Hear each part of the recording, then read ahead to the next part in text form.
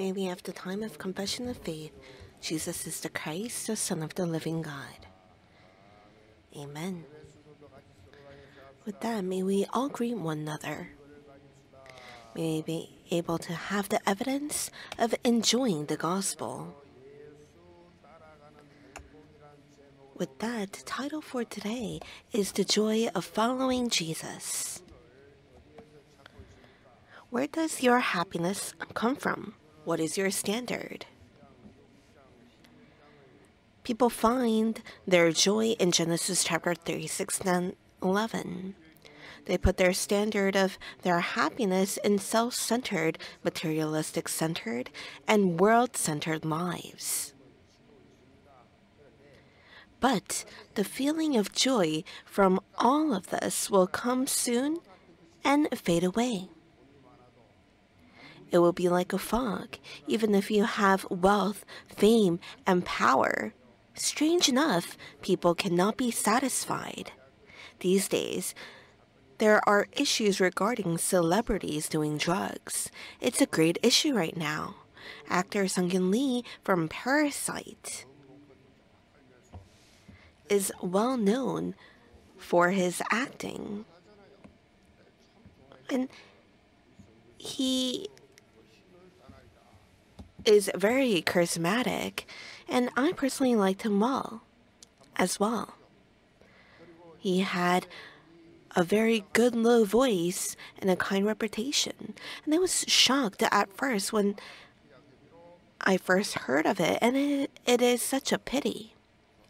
Not only him, but also GD, G Dragon, an idol singer from Big Bang, is being accused of drug abuse. What do they lack of?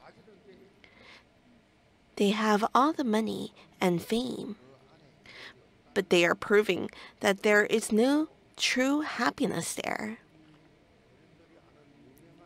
Then, where can we have true joy?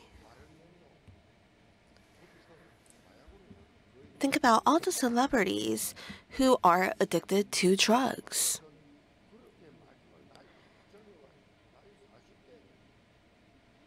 Like Marilyn Monroe in her 40s.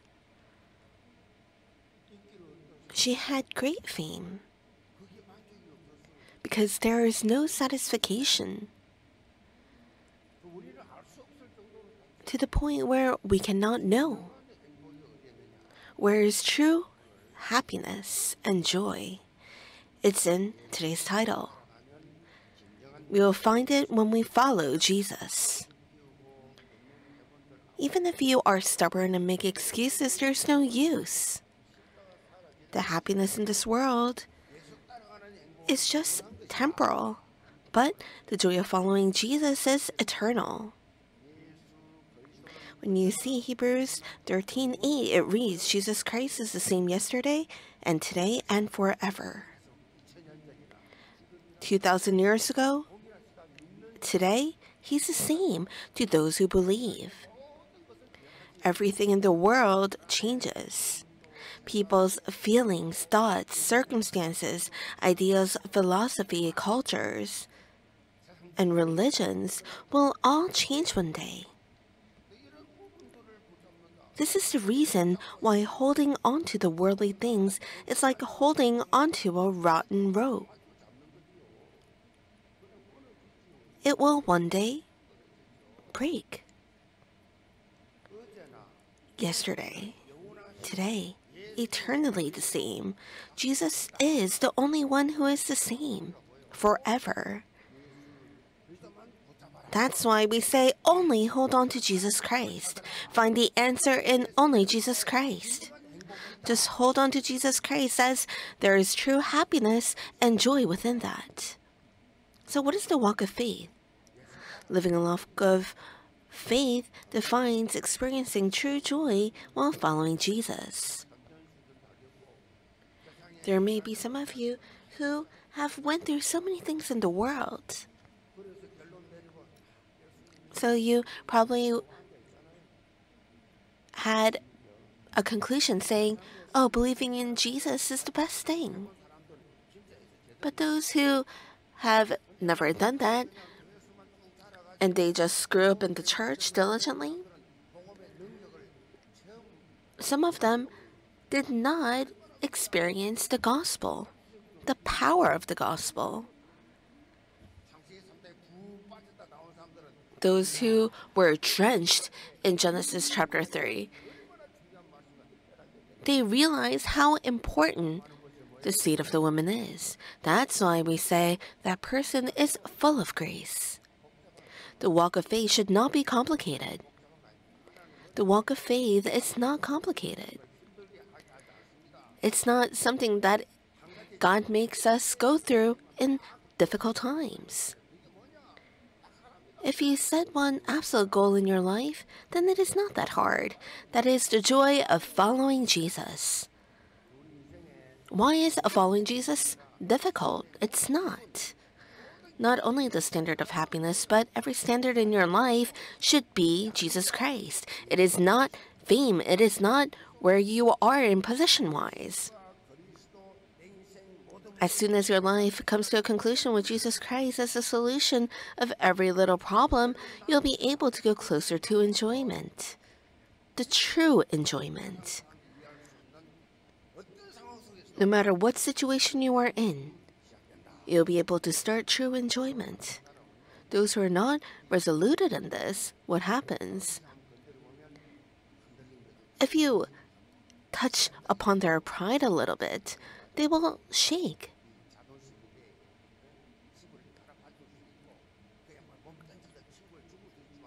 Yes, we can risk our lives and die for our friends, but touching upon pride is a different matter. There are pastors who risk everything for this upper room movement, but when their pride is hurt, it is like a fog. If they're not resoluted, people's lives are very complicated and their lives are always confused of not knowing what to do. But why can you not enjoy it while believing in Jesus? Why do you not have true joy? Why do you have so many conflicts? Why can you not receive grace? There is only one reason. It is because you did not completely conclude your life with the gospel before blessings, before success. For those who have not been resoluted, may you be able to pray, Lord, may I be able to believe that the Lord Jesus Christ is the answer to all my problems. May I be able to realistically believe that Jesus Christ is the answer to all my problems. If you cannot believe it, you'll go crazy, especially in our church. For other churches, it's okay because they don't really speak about Christ, but our church, it'll be difficult to stand because we're continuously speaking of only Christ. Because we're continuously lacking that 2% that is lacking. You feel unsatisfied. So you keep on looking onto other things. What happens if you drive and look the other way? you'll have an accident. You must look forward on the road. It's the same thing in your spiritual life. Only Christ, only kingdom of God, only the filling of the Holy Spirit. If this happens and if this takes place, it is finished. No matter what happens, it doesn't matter. These three onlys must complete your life. May you be resoluted upon these three onlys. May all Yewon church believers live the walk of faith knowing how great the love of Christ is and how deep, wide, and long it is, realizing that all treasures of wisdom and knowledge is within Christ, the mystery of God. The great blessings that lies within this. There is healing, wisdom. All knowledge lies within Jesus Christ. You must know of this. Within Christ, you must realize this. Knowing how great and amazing the love of God is. Knowing the depth, width, height of this love. Paul realized of this love. Physically, he went through hardships after, but spiritually, he was filled with joy of knowing about God daily. Are all Christians the same? The depth, height, and length is all different. So, what did he say? You should go to the level of swimming inside the river of life, not just dipping your feet into the walk of faith. I bless you in the name of the Lord that you may all stand as the main figures of possessing all the nations and tasting the true joy of following Jesus. Swimming within the ocean of grace. So may be able to taste the joy of following Jesus and be the main figures of possessing all the nations. Number one, the historical witness of the gospel movement. Verses 14 to 15.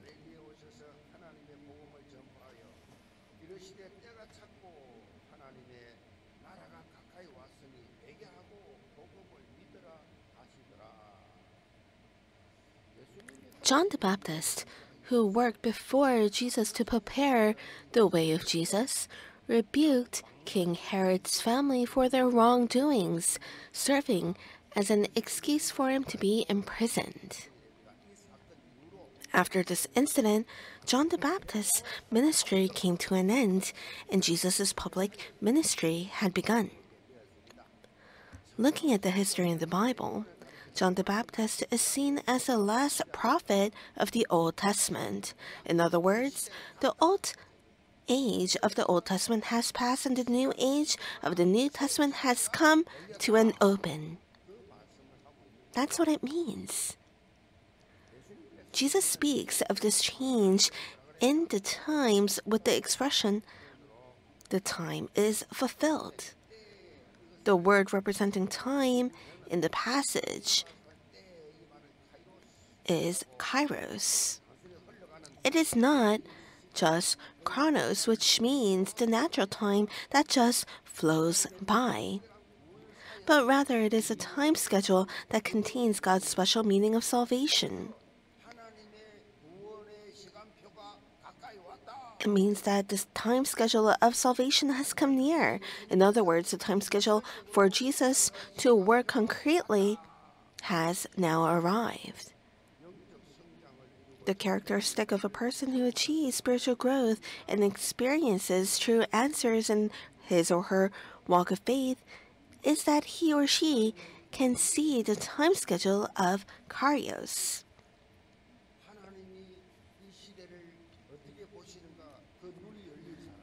Those who have the eyes that are open to see how God works in this age. There's a reason why it is important whether these eyes are open or not. No matter how passionate you are about taking on the challenge, what will happen if the direction and timing is not right? The harder you work, the more you end up in a completely different direction, totally irrelevant to the answer.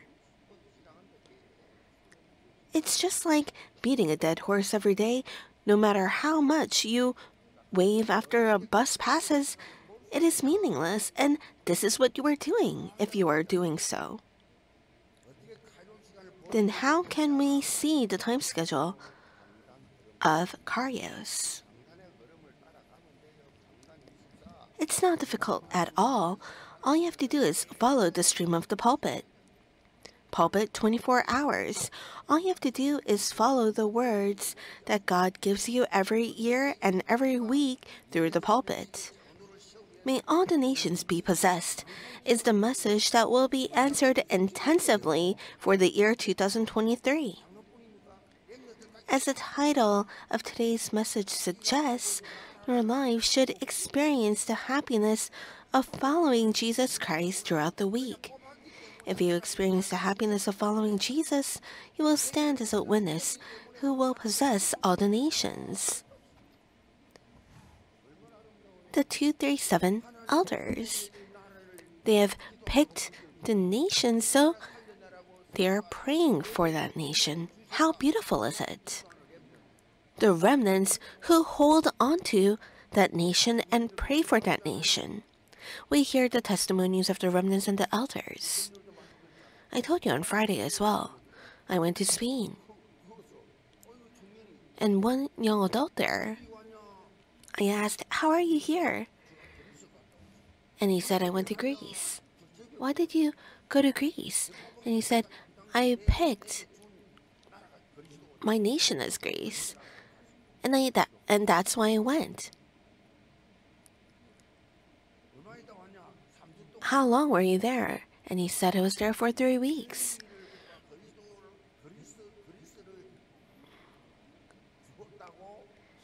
And he picked out Greece as his true 37 nation, and that's why he went to Greece for three weeks.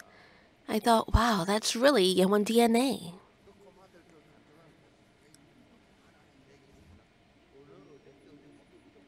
They don't even know where the country is, but the remnants, they pray for that country, whether you go or send, by prayer. It's saying that they will do world evangelization. They're within the time schedule of God. How lovable is that? God fulfills the word that He gives for that new year, as well as the word that He gives us every week. May all the nations be possessed. We are receiving this answer in the year 2023. And like today's title, The Joy of Following Jesus. So it's saying, this week may we be able to follow Jesus. There's no need to think too hard. If you think about it too long, it's difficult. So just live following the flow of the church. Within that, there is true joy. Don't go the opposite way, but follow. There is true joy in that.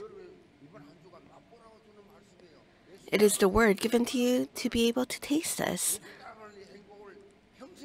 May be able to experience this lifelong. Then you'll be used as the one who possesses all the nations. Don't think about it too hard. The walk of faith must be simple. It must be simple for those who are very complicated, they go crazy. The Bible is very simple. What is interesting is that one of the characteristics of the book of Mark that we're examining every Sunday is that compared to other books of the Bible, of the Gospel, it is very simple. Why? is that the paragraphs are not long. It takes the form of a summary of the key points. Theologians found the reason in Peter. This is because the author Mark followed Peter and recorded the messages that he had proclaimed and mentioned. One can say that Peter was poorly educated.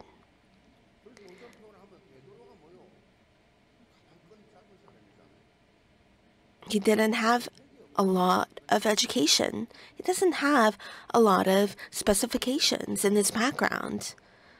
So that is why he didn't have a long speech. He was unable to do so. He was simple.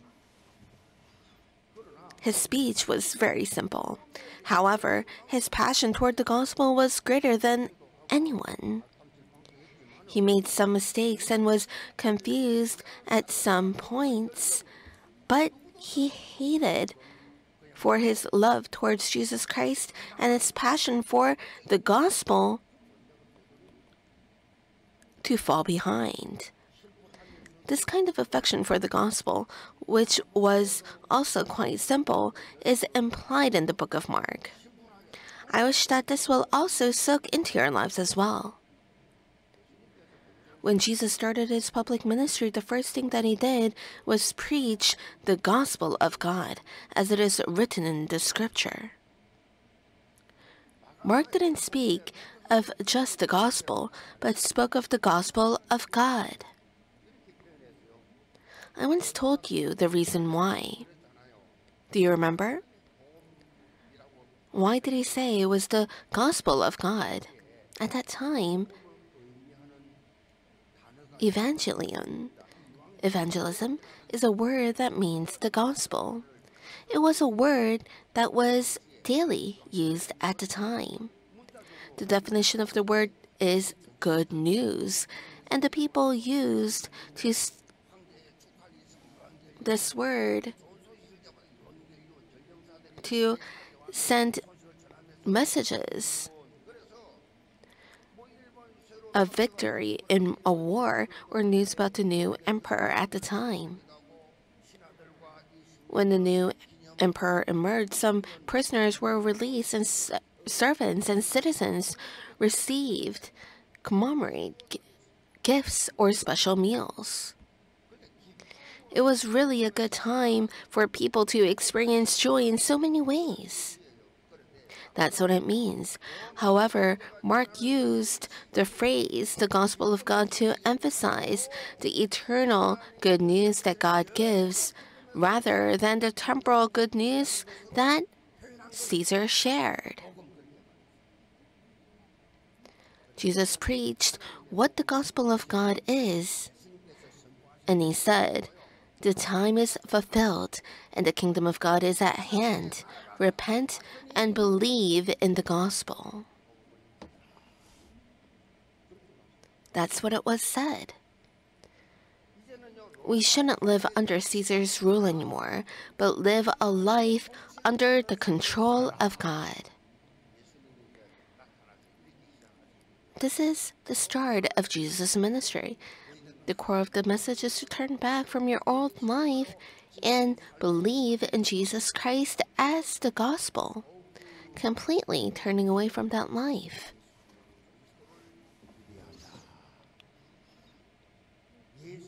This means that you should change your master, the owner of your life. It's not yourself, it's not Caesar, but it is Jesus Christ. It's that we don't change our master, that we have conflicts and we don't have answers to prayers. And you compare, have thoughts of inferiority, have panic attacks, schizophrenia, insomnia, depression what we must see is that Jesus preached the gospel of the kingdom of God as soon as he came to the world. That's all that he did. The kingdom of God. That's what he preached of. This is a life that we should follow. Why am I living? Is it to eat three meals? Is it to make your children be successful? Yes, that is needed. But what is the purpose of your life? It is that you're living for the gospelization of the kingdom of God. Are you not living for that? I am risking my life and going all in for my children. Is that so? What is important is your priority. You first must change your priorities. Ask for the kingdom of God, and I will help all things, is what God said. You must be able to experience that in your walk of faith. We should become the main figures of this gospel movement. Being in the forefront of this, Pax Romana, the time of Roman peace, was over a long time ago.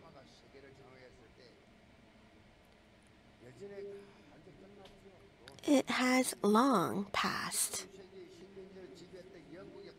Pax Britannica was a time when Britain colonized so many countries, but this was also over. Nobody knows when Pax America will end, which means the US grabbing hold of world peace.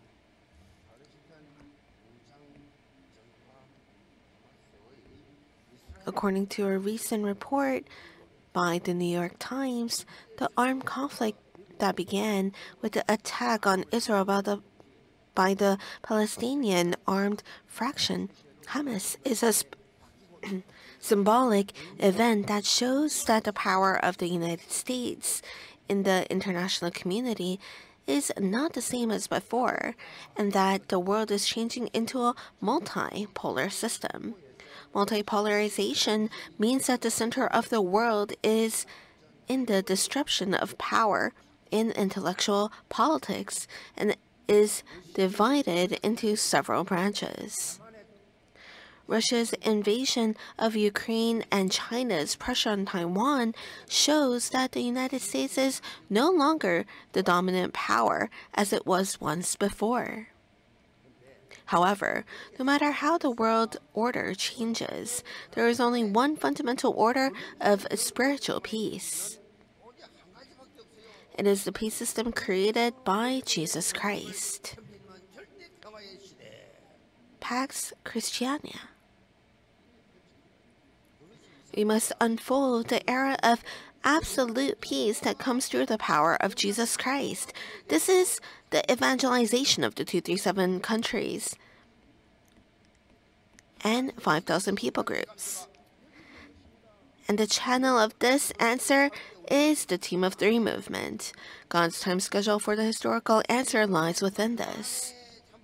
When we ride the spiritual stream, we can experience true happiness all believers of Yewon Church.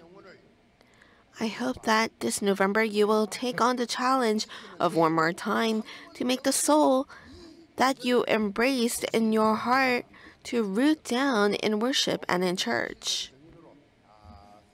I bless in the name of the Lord that you will stand proudly as a historical witness of the gospel movement. Number two, the life of the evangelists that are fishers of men, verses 16 to 18.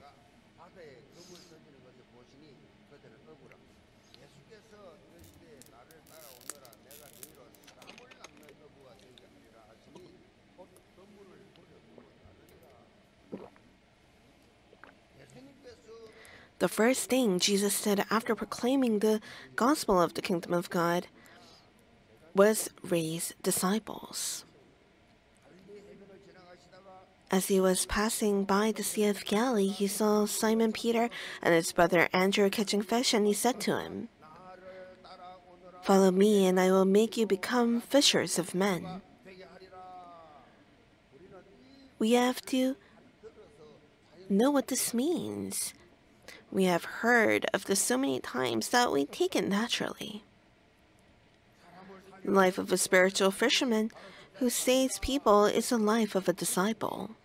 However, these words must have been shocking to Peter and Andrew who were catching fish at that time.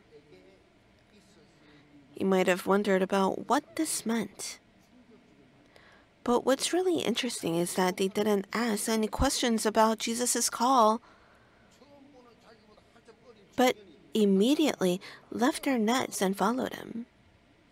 Jesus was way younger than them, and they did not even know who he was.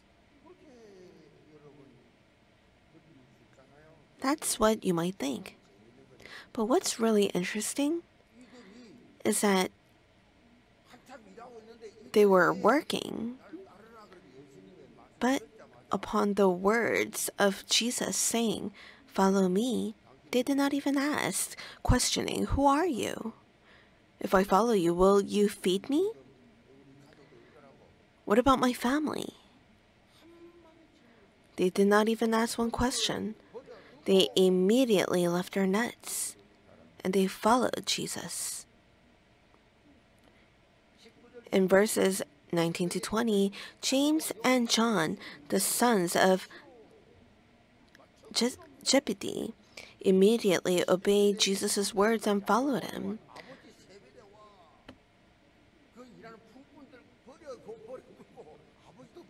leaving the father and all the workers.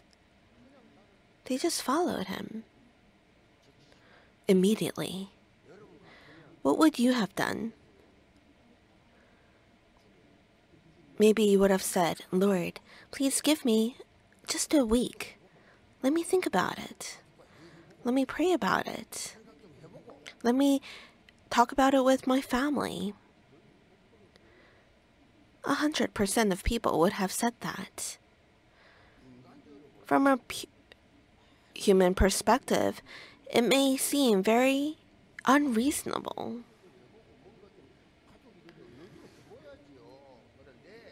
But not in front of the Word of God. Following Jesus does not mean weighing things, calculating profit and loss, and then taking action. The same goes for me. I was having a good business, and I could not even tell anyone because I was so embarrassed. Saying, telling me to go to seminary. I was evangelizing and doing my walk of faith diligently. Maybe if I failed in business, I wouldn't say anything, but I was doing the most tithes. But immediately, I obeyed. But one day God told me, go to Seoul. I did not even know anywhere in Seoul.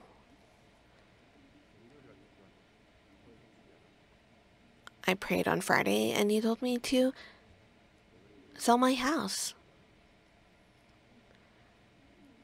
I told my wife we have to sell our house because God told me to go to Seoul. Maybe my wife would have said, Are you crazy? But no, she did not do that. Following Jesus does not mean weighing things, calculating profit and loss, and then taking action. The moment you hear the word, you must live a life of immediate obedience.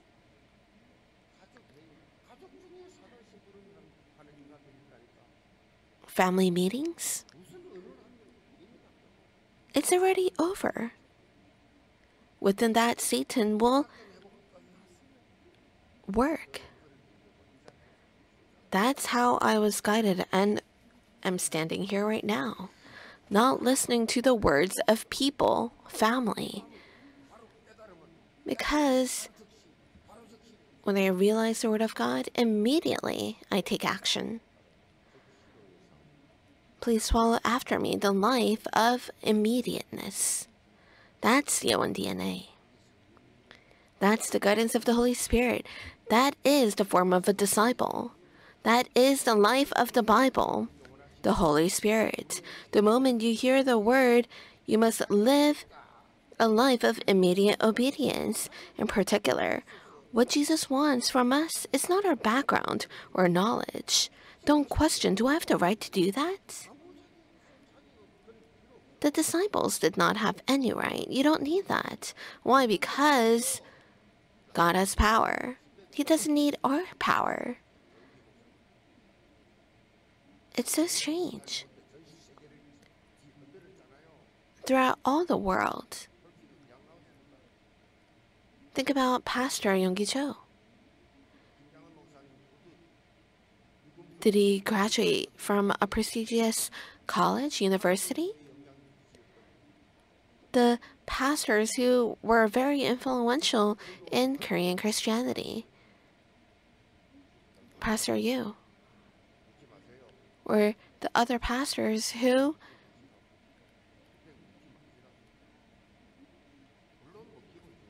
are doing their ministry. Don't ask their personal backgrounds. They have nothing to boast about. If they are boastful and prideful, they're mentally off. But it's that they are always spiritually alert. Spiritually and mentally, they're very healthy. Them saying, Oh, I'm so tired, there is a reason for that. What power do I have? How can I? What right do I have? I don't have anything. If you start with I, then there is no answer. Please don't worry about at all whether I'm qualified or not. What Jesus wants is only the attitude of immediate obedience. If you look closely at today's word, when Jesus called his disciples, he did not tell him to become the fishers of men. He said, I will make you fish. He did not tell them to become the fishers of men, but he said, I will make you become fishers of men. Being a disciple depends on Jesus. All you have to do is follow him. All we have to do is this I will make you become fishers of men. Being a disciple depends on Jesus. All we have to do is follow Jesus, following the word, following the gospel following the schedule of the church. Why do you have to calculate upon the church schedule? The church is guided by the Holy Spirit, so all you have to do is follow the schedule. If you follow Jesus, we are only supposed to follow Jesus. There was nothing else that the disciples did during Jesus' public ministry but to follow him. There was nothing that they did otherwise. All you have to do is follow him. All you have to do is follow the word as the word is Jesus. The amazing work of revival of the early church began by the disciples with their obedience to the words of God, the words of Jesus. Jesus did not say to leave Jerusalem, but to wait for the Holy Spirit that the Father God had promised. He said that when the Holy Spirit comes, you will receive power and become the witnesses in Jerusalem, all Judea and Samaria, and to the ends of the earth. According to these words, the disciples received the Holy Spirit gathering in Mark's upper room, praying on the day of the Pentecost. From then on, they all stood as the main figures of bringing about unimaginable changes in the field. Just as the word says, they all became witnesses. Now Jesus is telling us as well, I will make you become fishers of men. All you have to do is obey. I will make you fishers of men. Dear Yewon believers, you can respond to this voice by Amen. All you have to do is carry out the Team of Three movement. If you look at the status of evangelism for evangelists of teams of three, the evangelism rate after submitting the application is less than 30%.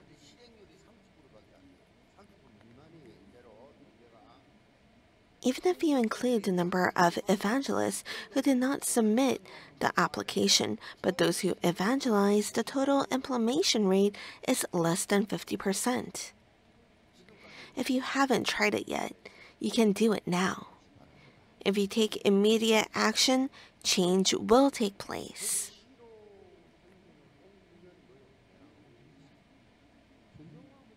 All you have to do is obey, follow. The spiritual the spiritual paradigm shift is bound to occur. I bless all believers of Yewon Church in the name of the Lord that you will live a wonderful life as the evangelists who are fishers of men of this age. This is the conclusion.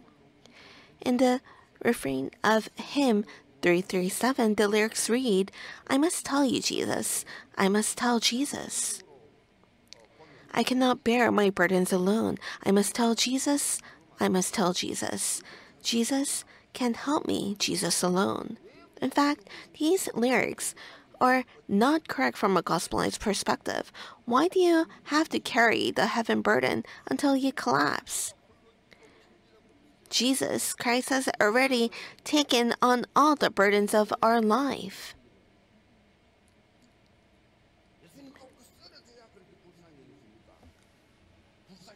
Do you think Jesus will give you salvation only when you collapse on the floor? No. He has already bared all the burdens of life, and that's why he said Tetelestai, It is finished. There is no need to struggle. Do you think this is all a lie? I was resoluted in this 30 years ago. There was no answer in this before. Jesus is the Christ answer to all problems Tetelestai it is finished. That day it has ended.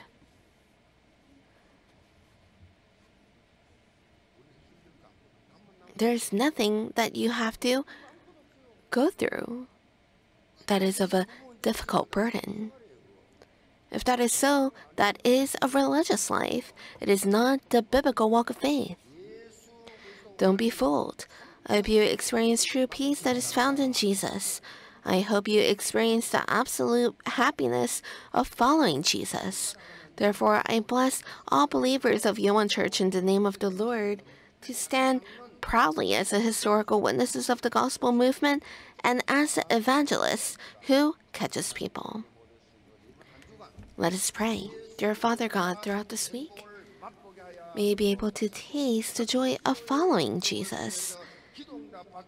May, may we immediately obey and follow the Lord, being the main figures of the three movements. Upon the word of the pulpit, may we not listen to it as the words of man, be, but be able to have true evidence in our lives. In Jesus Christ's name we pray, Amen.